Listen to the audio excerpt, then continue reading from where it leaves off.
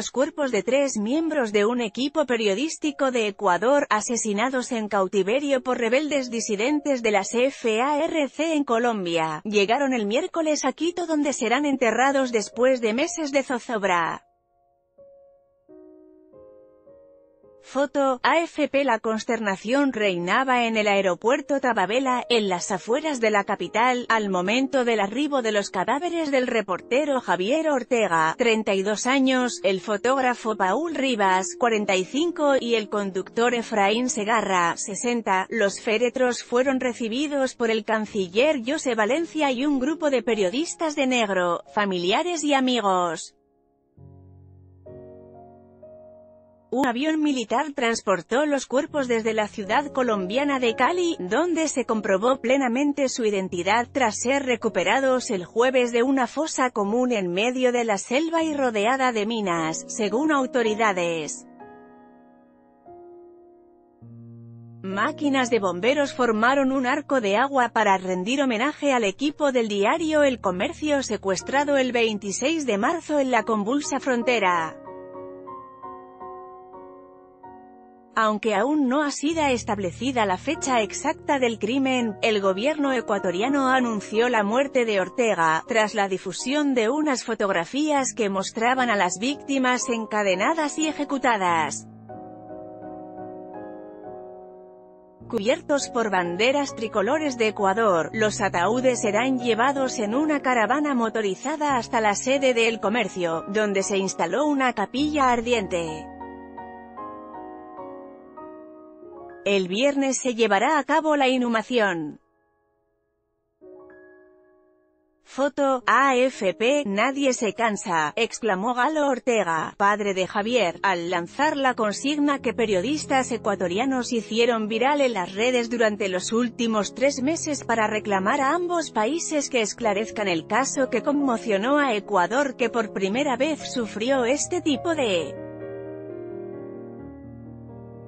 violencia, se ha convertido en un caso emblemático a nivel regional porque es un caso de un crimen perpetrado por crimen organizado, pero que significa nuevas formas de violencia contra periodistas, manifestó a la AFP César Ricaurte, director de la ONG Fundamedios, que defiende la libertad de prensa.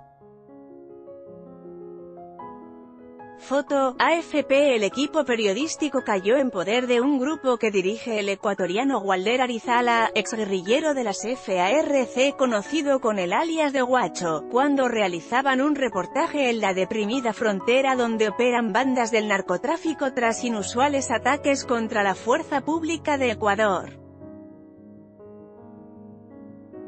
Guacho se apartó del pacto de paz con la ya disuelta guerrilla de las FARC, que en 2017 condujo al desarme de unos 7.000 combatientes y a la creación de un partido de izquierda con las mismas siglas.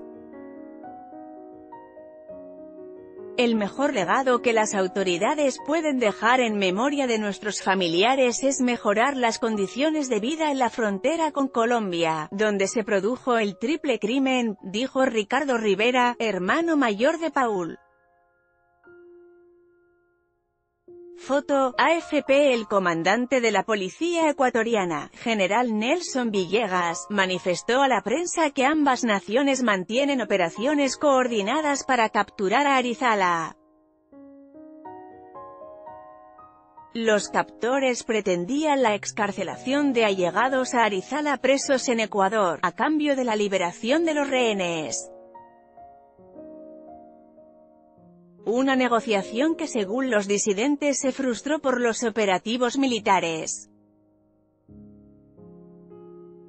Foto, AFP Arizala es acusado por las autoridades de Colombia de operar como brazo armado del cartel mexicano de Sinaloa y de tener también secuestrados a los ecuatorianos Oscar Villacís, 24, y su compañera Katy Velasco, 20, sin un mando unificado. Los rebeldes disidentes operan en apartados puntos de Colombia donde disputan las rentas del narcotráfico y de la minería ilegal.